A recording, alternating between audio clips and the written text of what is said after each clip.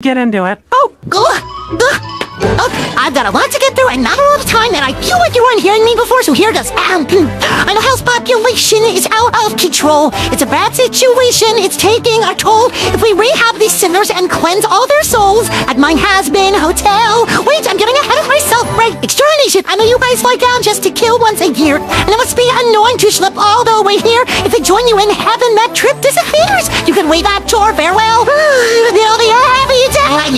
I air save us all precious time. If what you're suggesting is letting them climb up the ladder, oh, they'd rather cross the pearly gate. So uh, sorry, sweetie, but there's no defying their fate. Cause hell is forever, whether you like it or not. Had their chance to behave better, now they boil in the pot. Cause the rules are black and white, there's no use in trying to fight it. They're burning for their lives until we kill them again. Just try to chill out, babe. You're wasting your breath. How can I hear you imply that they don't deserve death?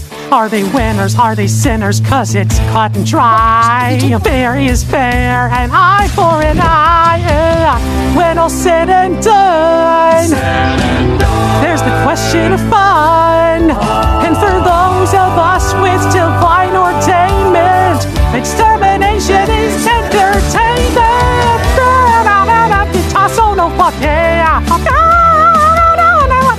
Hell is forever, whether you like it or not. Had the chance to rewind that, and now they boil in the pot. Cause the rules are black and white, there's no use in trying to fight it. They're burning for their lives until we kill them again. Fucking hell's forever, and it's meant to stop the lot. Don't give up your dumb endeavor, cause you don't have a shot. Long as I have her intention, I guess I should probably mention that we've made the determination to move up the next extermination. We can't wait a whole year to slaughter those little cons. I know it's just been a week, but we'll be back in six months.